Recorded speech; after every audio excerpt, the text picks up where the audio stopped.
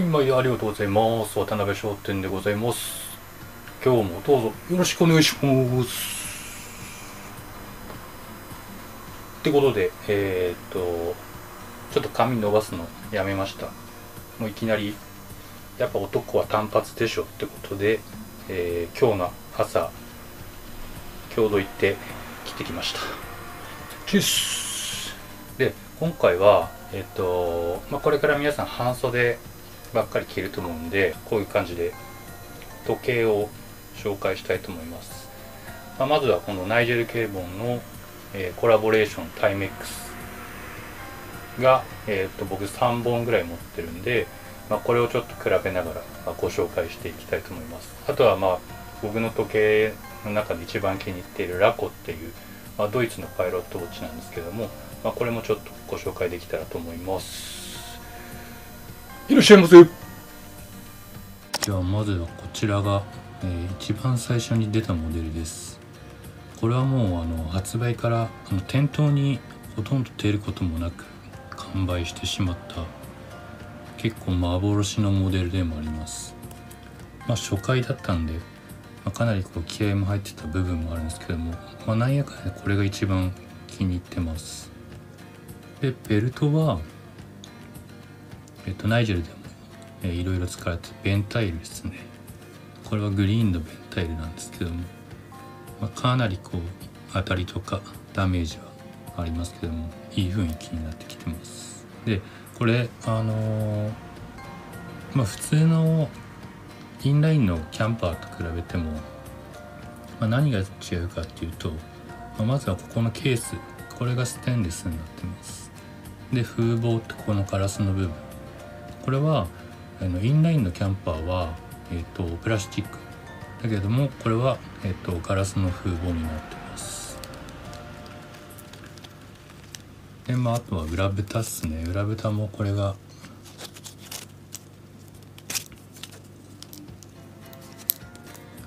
まあこういう感じで。ケーボンタイメックス。まあミリタリーっぽい裏蓋になってまして。でまああとはここっすね。12時の部分が、まあ、ブロードアローになってる、まあ、これが、まあ、このナイジェルケーボンとタイメックスの特徴です。でまあベルトはこうやってあの簡単にこうスッと入れて付け替えることできるんで、まあ、例えば NATO のナイロンベルトとか、まあ、ああいうのに変えても、まあ、かっこいいと思います。次に出たモデルが、えー、とちょっとサッカーに寄ったモデルだったんでそれはすいませんスルーしました僕で次に出たモデルが、まあ、さっきの、まあ、色違いですね。で、えー、文字盤が、まあ、サバイバルイエロー、まあ、前回の帽子でなんで黄色がっていうことをお伝えしたと思うんですけど、まあ、それと一緒です、まあ、レスキューカラーのサバイバルイエロー。でこれはえっ、とベンタイルのネイビーベルト。同じです。ステンレス製の、えっと、ガラス風。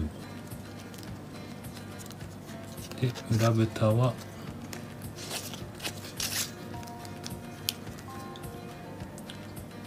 もう一緒っすね。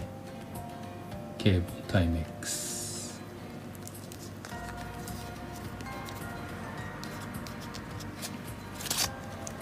そうだ。これ忘れてた。ベルトにもブロードアロー入ってます。でこれもまあさっきの時計と一緒で、まあ、こうやって簡単に付け替えもできるんで、まあ、これも、まあ、NATO の別のベルトつけてもいいと思います。でこれが、えー、今一番最新モデル。ネイバルオフィサーズウォッチですね。でまあネイバルっていうだけあってえっとまあ海軍の船長がつけてた時計か何かをからインスピレーションを得て、まあ、作ったタイメックスとのコラボです。でまあ前のやつと比べると、まあ、ここの、まあ、真ん中の、えー、と2424時間ケースかねここにまあ赤いこう線が入って、まあ、結構これブリーフィングとか赤い糸とか使ってたりするんですけど、まあ、その視認性の覚悟とかそういうミルスペック的なところもあると思うんでちょっとこれがそこまそこまでねあるかどうかわかんないですけど。で、えー、と違うのが、えー、とベルトっすね。前は、まあ、ベンタイルだったんですけども今回これはナイロンです。でまあナイロンなんですけど僕前あのルミノックスとか使った時もナイロンベルトついてたんですけど、まあ、夏場とかすごいいいです。これもう水でもうバンバン洗えちゃうんでで乾くの早いしだから臭くならないんでこれすごいいです。で裏蓋ちょっと変わってて、まあ、これでっかいブロードアロー入ってます。でケースは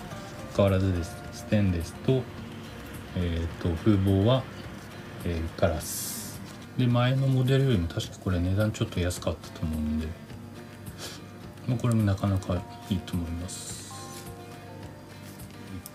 つけてみるとこんな感じですかまあ夏なんでね白文字盤なんかすごいいいですよね。でまあネイビーのベルトで白 T シャツとか合わせたりとかすごいいいと思います。黄色はこういう感じ。まあここ何センチ？3センチぐらいですかね。大きさ的には。まあ女性でもしていただけるサイズだと思うんで、まあ、これが一番初期モデル。まあ未だにやっぱ探してる人も多いんでかなりダメージあたりめちゃめちゃいいですけどね。ただやっぱり今もう二次流通でしか手に入らないんで